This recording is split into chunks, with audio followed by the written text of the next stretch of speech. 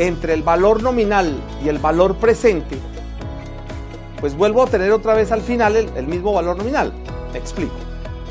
Yo arranco con un título que vale 100 y su valor presente es 80.